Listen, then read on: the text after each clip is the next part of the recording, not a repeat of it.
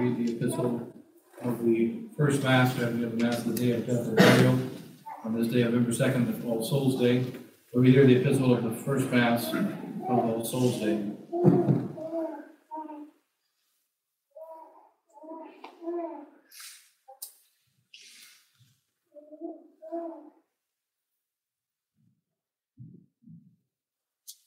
Reading the Epistle of St. Paul, First Corinthians, chapter 15. Brethren, behold, I tell you a mystery. We shall indeed rise again, but we shall not all be changed. We shall all indeed rise again, but we shall all be, not all be changed.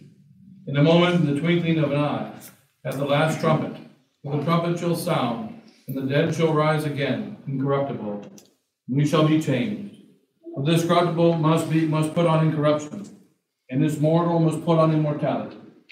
And when this mortal hath put on immortality, then shall come to pass the saying that is written Death is swallowed up in victory. O death, where is thy victory? O death, where is thy sting? Now the sting of death is sin, and the strength of sin in the law. But thanks be to God who hath given us the victory through our Lord Jesus Christ.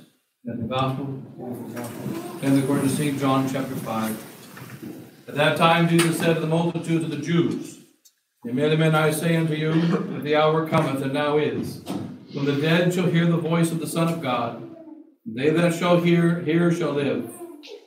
Whereas the Father hath life in himself, so he hath given to the Son also to have life in himself. And he hath given power to do judgment, because he is the Son of Man. Wonder not at this, for the hour cometh, wherein all that are in the graves shall hear the voice of the Son of God, and they that have done good things shall come forth into resurrection of life, but they that have done evil unto the resurrection of judgment. That's for the word of the days. Holy God. Father's name, amen. It is the most fitting day to have a holy and sacred burial this day of commemoration of all souls. And we notice here a few considerations on a missing element. The missing element in the ceremony today, and it's missing in our church today, missing in our world today. When we have the day of death and burial, whenever the bishop comes in for a pontifical mass, he always has four capellani. These are four coat bearers who walk behind him, and they carry the mitre, they take care of the mitre, they take care of the crozier, the book, and the uh, the, and the, the, the mitre, the crozier, the book, and they are they are there in order to to to be an instrument of the bishop in the battle, in the in the mass. We have in the mass today that there are only three bearers. We have the, the we have the mitre, and we have the book, and we have the bugia, the candle bearer, but we don't have the staff. There is no staff. And the reason for this is that the bishop's duty, and this is a great problem of our church since Vatican II, the bishop's duty is to walk through the world as a shepherd. And the shepherd is designated by his staff, by the crozier that he bears. And the crozier is of no value for the dead. The crozier is no longer able to work for the dead. It cannot protect the dead, cannot defend them, it cannot pull them out of the pit. The crozier has two sides. It is a stick that is used in battle, but this stick is only used in defense. It is not an assault weapon, but a defense weapon. For when the, when the sheep are attacked, the shepherd takes his staff and he beats off the wolves so that the sheep are not devoured. But then also, the sheep sometimes are not only in trouble because of the wolves, the sheep are also in trouble because of their own sheep, their own sheepness. Sheep are not, sheep are not very wise. They easily fall into pits. Sheep also sometimes rub ones against one another and harm each other. And sheep often fall into a pit. And therefore, there is a hook on the back side of the crozier, on the top side of the crozier, that the shepherd uses to pull the sheep out of the pit. Now we come to the time of death. When death comes, it is too late to pull the sheep out of the pit. Whatever sheep is in the pit on the day of death, in that pit he shall remain for all eternity. Therefore, there's no need to have that side of the staff. And on the day that death comes, there is no power to drive off the devil for those that have died in the state of sin. And there is no need to drive off the devil for those that die, the friends of God. Therefore, the staff is not needed. It will not benefit the damned. It is not needed to protect the just. But there is a time for the staff. There is a time when it is needed. And this is when we are here on this earth. When we are walking this earth, we need the staff of the Holy Father. His staff is not only a crozier, but he must carry a crucifix, for his staff must be more powerful. Because the Lord Jesus Christ said, If I be lifted up upon a cross, I will draw all things to myself. And the Holy Father, he walks with a crucifix. He has a most sacred staff that can pull him out of the deepest pits, anyone that falls in the most deep pit. And it has a most powerful weapon, for this staff is on the shape of a sword, and it destroys completely the enemies of God. But when we die, it is not the time of the staff. It is the time of the judgment. So we do not wear the staff, but we still wear the mitre, which signifies the horns of the two testaments. When the bishop is consecrated a bishop, mitre is put upon his head, and the bishop that consecrates him says, Receive the horns, the sharp horns of the two testaments, the old and the new, that you might appear fearsome to the enemies of the truth. The mitre is worn on the day of judgment, but without the staff. The mitre is there, but there is no staff. For on the day of judgment we shall meet Jesus Christ, and he shall judge us by the testament. He shall judge us by the gospel. But there should the time of mercy is over. The time of defense of the shepherd is over. Either we have been pulled out of the pit by the shepherd, or we have refused to be pulled out of the pit by the shepherd, and we remain in the pit, in which case we go to judgment. Hence, the shepherd and his staff are so important. There are many heresies in our church. The greatest of them is modernism which St. Pius X says is the grand sewer and the collection of all heresies. It is evolution applied to the Holy Roman Catholic Church. And what is evolution? It is quite simply the theology of death. All that evolution means, whatever you are today, you will not be tomorrow. Whatever you are today shall be taken from you not only your clothing, not only your passions, but your very existence. Evolution is a most demonic and satanic teaching that is the closest to hell itself. That they have the belief that whatever we are today, we will lose completely. It is the theology of death. And when this theology enters into the whole Roman Catholic Church, it destroys it. We are in a world of death all around us, and we are not supposed to be yet in this world. We know that we are all condemned to die, and after death, the judgment. But between now and that death, we have protectors. Between now and that death, we have a Holy Father who walks with a staff to protect us, and his staff has a crucifix upon the top. Not a satanic crucifix like John Paul II or, or, or the Pope Francis, but a crucifix that is the, Jesus Christ hanging upon the cross. In order to save mankind who is in this world. We are saved or we are lost in this world. Many people are worried. Tomorrow is the first Tuesday in November. Is America going to die? Is the Trump train going to keep on going? Is death in our country? Does Biden know he's running for president? His brain's been dead for some time. Now he's going to be elected, they say. But what is our problem? Our country is dead. Our church is dead. And there are two reasons for its death. The first reason is the shepherds are dead. The shepherds are not holding their staffs. The shepherds are not doing their work. Where are the shepherds? We are experiencing the condemnation of Lord Jesus Christ in the book of Ezekiel. I think it's chapter 32, chapter 30 something. When Lord Jesus Christ says, I have something against you, ye shepherds, because you have been wicked to the flock.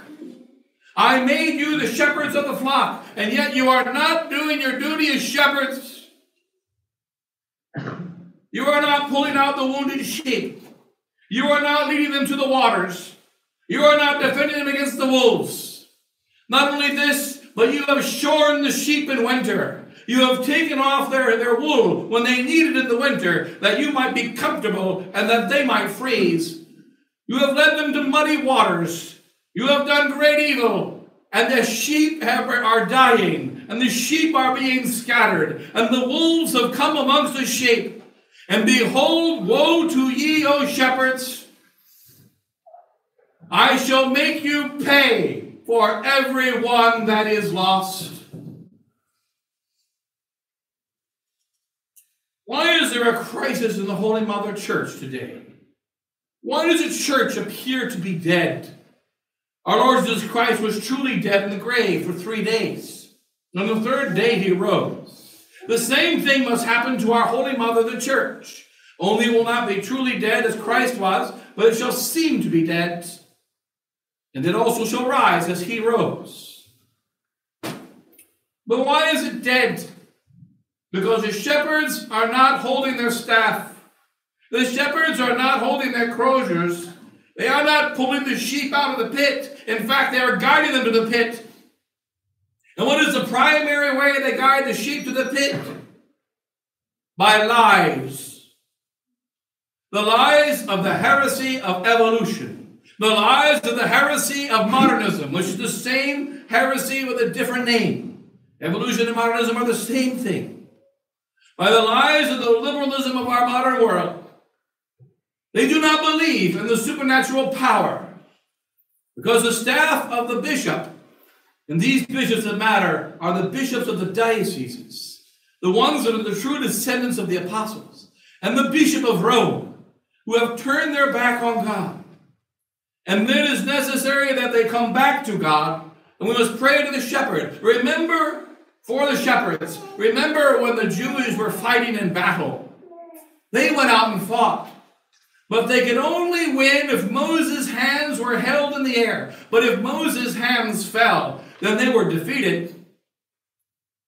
And there was a recognition swords are not enough to win a battle in our holy church. Swords are not enough to conquer Satan. What is necessary to conquer Satan is we must hold up the arms of the priest. All of us have a special duty in our time to pray for the priests, especially those priests that are designated by God to have the special care of souls, especially the bishops of dioceses and the bishop of Rome, who is Pope Francis. Benedict is not the bishop of Rome. Francis is. And Francis is not doing the work of God. He is not doing as he should be doing. And what is the reason why there is trouble in the world? The trouble is not Trump. The trouble is not Biden. The trouble is Pope Francis. The trouble is the bishops. The bishops who are not doing their duty. As Bishop Williamson used to say when I was in the seminary, is that the trouble with bishops is they don't bish. We need bishops that bish. If a bishop bishes, then the enemy flees. If a bishop bishes, then the enemies are destroyed. And these bishops are not the auxiliary bishops, but the bishops of the dioceses, the bishops designated by God. These are the bishops. And these bishops have not done their work. They are not holding up their arms. Their arms have collapsed by their side. And because they've collapsed by their side, the sheep are being scattered and scattered and scattered, and the sheep are dying, dying, and dying. Hence, we must pray for the shepherds. The church seems dead. There must be the use of the staff, and the staff has two sides. The staff corrects, and the staff encourages the staff must correct. Fathers carry a small staff in their homes. They also must carry the staff, a father of a family. He also carries a staff. He must correct his children. He must defend them against the contagion of the world, such as the demonic garbage that comes into the TV, by the TV and the internet, into the home. He must defend the home against the satanic attacks of the devil he must correct his children, but he must also be aware of the warning of the book of Proverbs Provoke not thy son to wrath. For it is not, it is the father must correct. But as remember, this is the same stick. There are not two sticks, but there is one. The stick of correction and the stick of pulling a, pit, uh, a, a sheep gently out of the pit. It is the same stick. This stick is sweet to those that are sheep. This stick, stick stings to those that are wolves. The stick is encouragement for those that are sheep. It is terror for those that are wolves. We must pray for the church. We know the time is coming when the Blessed Virgin Mary shall have her victory. We must pray for that victory to come soon. The world is getting worse. The church is getting more wicked. But we see some small signs some signs, some positive signs that they are beginnings of the coming back to Christ. They have not yet converted back to Christ. They have not yet come as they should come. Right now, for instance, the whole world can watch Archbishop Vigano on his journey to conversion, on his journey to understanding that the real evil of the church today is that the Holy Father, who is not holy and not doing his duty as a father, and the bishops of the church, they are not protecting the sheep, and they are following the wicked teachings and the wicked direction and the wicked spirit of that wicked council spoke of by our, by our, our, our Blessed Virgin Mary a hundred years ago at Fatima. This most wicked council is killing the church. It is still killing the church right now. And we must pray that this wicked council in all its teachings, in all its demonic teachings, its heresies and its errors, be pulled out of the heads of the bishops. Vigano still does not fully understand, but he appears to be very well on his journey, and he needs prayers and sacrifices. And so do also those other bishops, who the Holy Ghost is slowly, slowly trying to enter into their hearts, that they might repent and they might come to understand, for they're not all devils. There are devils throughout our whole church, but they are not all devils. We pray for their conversion and recognize that there is a necessity to the church will rise again. And it's going to rise by the miraculous hand of the Blessed Virgin Mary.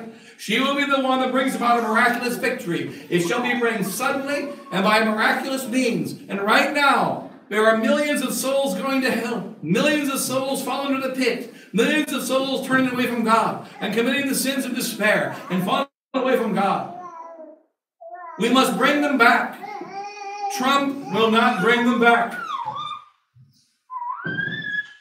He's not going to make America great again. There is no great without Christ. There is no great without the Holy Roman Catholic Church. There is no great without the love of God.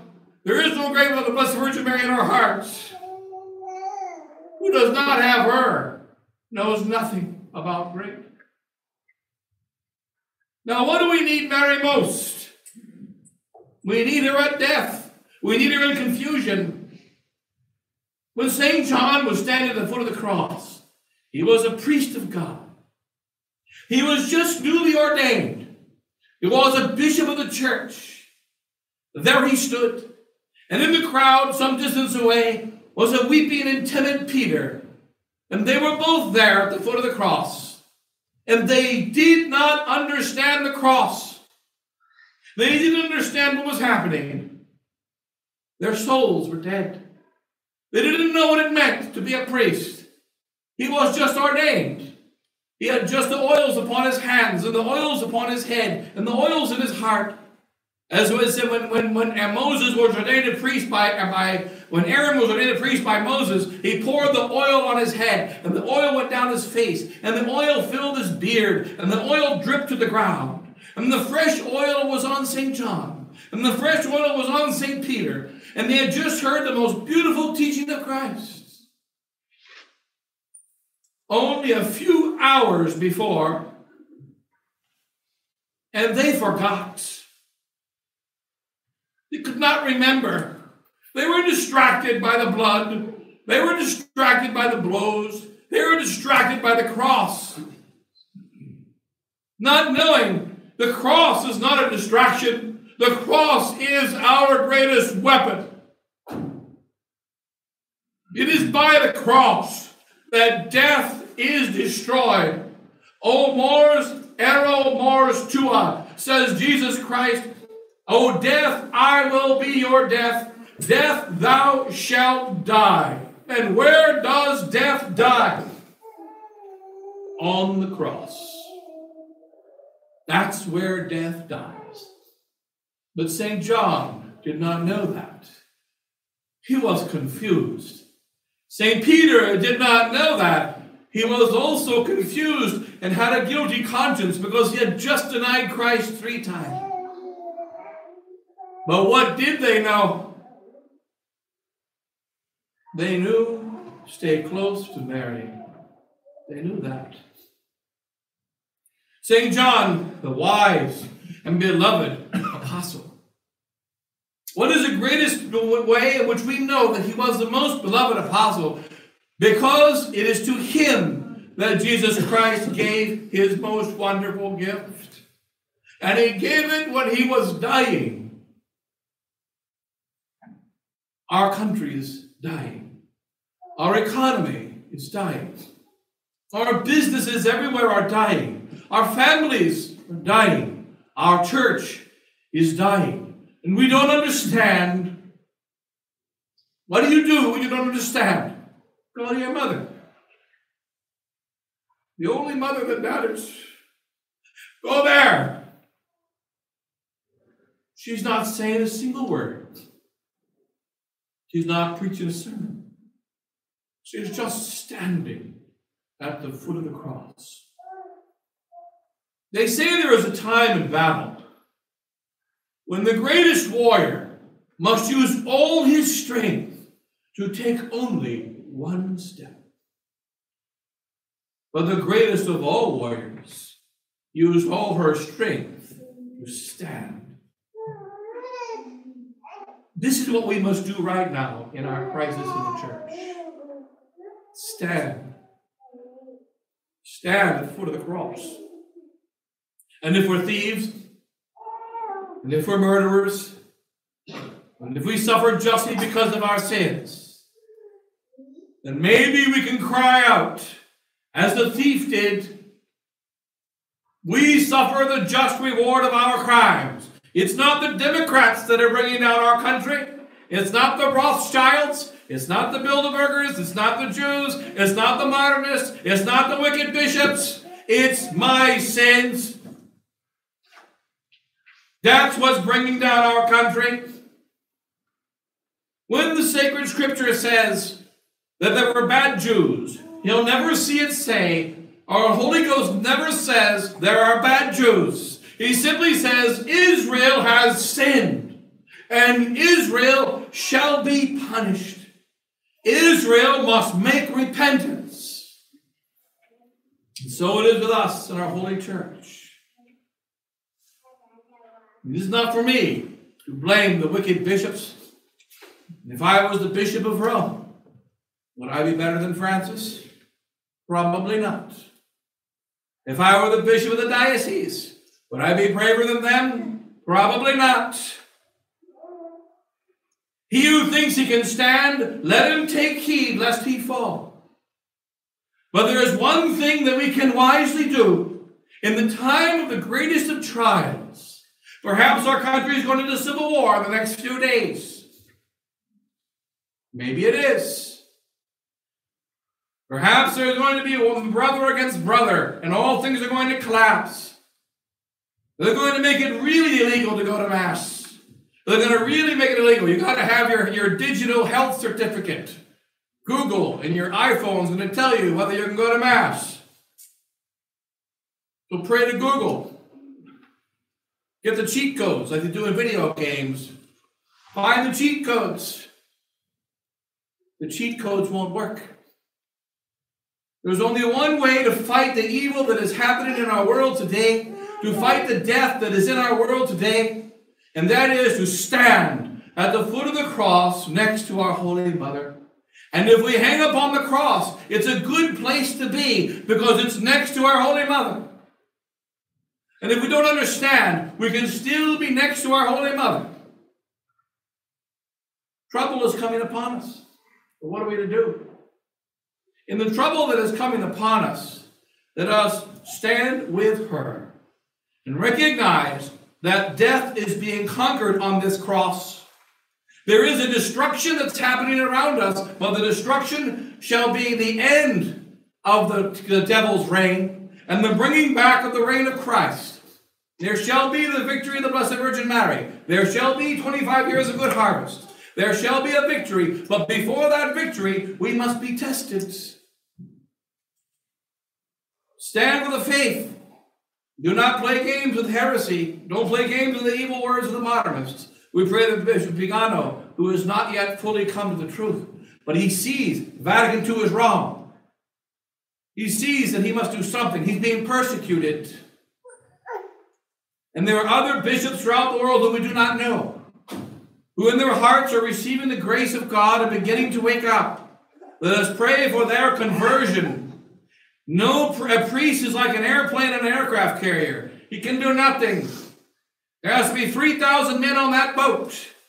Somebody's got to make the boat float. Somebody's got to cook him breakfast. Somebody's got to clean the deck. Somebody's got to put the, gun, the armaments on the, on the plane. Somebody has to take care of the guidance systems. And then he can take off and nuke the bad guys. The priest cannot operate by himself. The bishop needs our help. And it is needed that we pray for the conversion of the bishops. We pray for the conversion, especially of the Bishop of Rome, who is most wicked. But he's not that wicked. All he is doing is putting into play and putting into practice what he learned as a young priest. All he is putting into practice the wickedness of Vatican II. That's all he's doing. There's nothing non Vatican II in Pope Francis. And all he is, is a disciple in the stuli of, of Cardinal Ratzinger, who is his superior and who guides him. But they shall be converted or they shall be judged. As long as they're upon this earth, we must pray for their conversion. They must be converted and come back to God. We are members of the mystical body of Christ. Now, in our own body, what happens? If a man takes a baseball bat and he swings it at my head, the last time he did it, my arm went up and it broke. They then had a meeting, all the cells in the arm. And he said, That really hurt. I don't like that. The next time a baseball bat comes to the head, I'm going to see what the head likes about that. Do not go up and block the bat. You see how you like it when your skull gets crashed in. See how you like that. And so the bat comes and crushes the skull head. What happens to the arm? It decays and dies. We are members of the mystical body. We are not the head, we are in the arms. It is more important that we love God and we love His holy church and we love His priests and we pray for the conversion of priests and we're ready to die to defend our holy church. When the arm goes up and blocks a blow, what happens? It protects the whole. And fathers of family must recognize that the saint that we must follow in our times is Tobias. Tobias, the elder, and what did he do? He jeopardized his family in the time of danger when the world, the church became illegal because it's coming now. Already our religion is illegal. It will become more illegal. Don't hide too much. Be ready to sacrifice for the church. Be ready to sacrifice for the salvation of souls outside of our families. Those who only try to protect their families are not protecting what God commanded them to protect. Our Lord Himself said, if you take care of your wife and your children, are you you're just like the pagans? Are you not more valuable than they? We must pray for the priests, pray for the bishops, pray for their conversion. Give them the grace to pick up that staff and to swing it at the wolves, to pick up that staff and pull the sheep out of the pit, to be fearsome to the enemies of the truth, but they're miters, be vested in the vestments of God, that they might bear the odor of sweetness, and with this odor drive out the odor of sin, and bring in the odor of grace. We are members of a holy mother church. We are not alone. And there are four marks of our church, which is one, holy, Catholic, and apostolic. If I don't go and exercise, if I don't move about, my body will die. And if I don't go about and try to save souls and go about and work for the salvation of others in the time of crisis, and now everyone's getting poor, remember as you get poor, you must still give. You must still be generous. This is how we fight. The shepherd carries his staff. The sheep are, are obeying the shepherds. Because the shepherd is not carrying the staff, the shepherd is being selfish. The shepherd cares only about himself, and therefore the sheep obey the shepherds. And they also are selfish, and they also are worried only about their own bank accounts and their own life. And our world dies, and our country dies, and our families die. How do we bring it to life? Unless the seed falls to the ground and dies, that's one seed, it remaineth itself alone. Try to save yourself. Try to save your assets. Try to save all the things you have. Prepare for the upcoming difficulties by investing in gold. Prepare by making sure you've got the right kind of water and you've got all the foods that Alex Jones has to offer on InfoWars. Prepare, prepare, prepare. And those who prepare this way, they may be the first ones to die.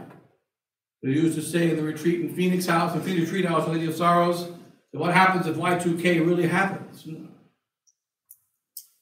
And all the food goes out. And we store up all the food at Lady of Sorrows, 7th Street and Baseline, our Society President's Church that I was at for nine years. We take everything together. After a few weeks, I'm going to be walking down the street, and they're going to say, He's still fat. Everyone else is starving to death, but he's still fat. I'm going to check out where he lives. And they go down to South Phoenix, and we got nice machine guns, we got a razor wire, but five million of my closest buddies are interested in my food. Don't die of starvation, but a lot of grateful people are eating my grub.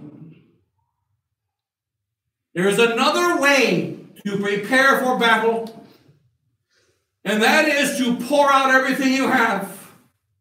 And let this say the Our Father, that sacred prayer that we each say, give us this day our daily bread, not the bread for tomorrow or next week, but give us this day our daily bread, and whatever is above our daily bread, let us give it away. And if we only have daily bread, let us cut it in half. And let us see who makes it through the war. We are heading into difficult times. It is a time in which God is asking, and the angels are asking, who loves? Who loves?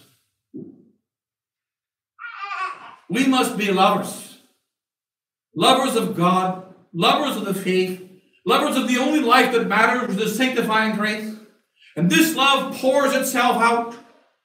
And this is the way to conquer death. When the Lord Jesus Christ discovered there was still blood in his body, he sent it out so that all the blood was out, so that it finally came out blood and water. And when the, finally the blood and water came out, when his heart was pierced with a lance, and he was completely dead, a wicked soldier saw that what he saw was true. And that soldier became a saint and a bishop of our church, St. Longinus.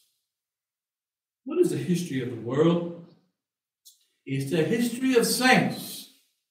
The history of those that know, love, and serve God, and all the others don't matter. And when the last saint is ready for eternity, then the world shall come to an end.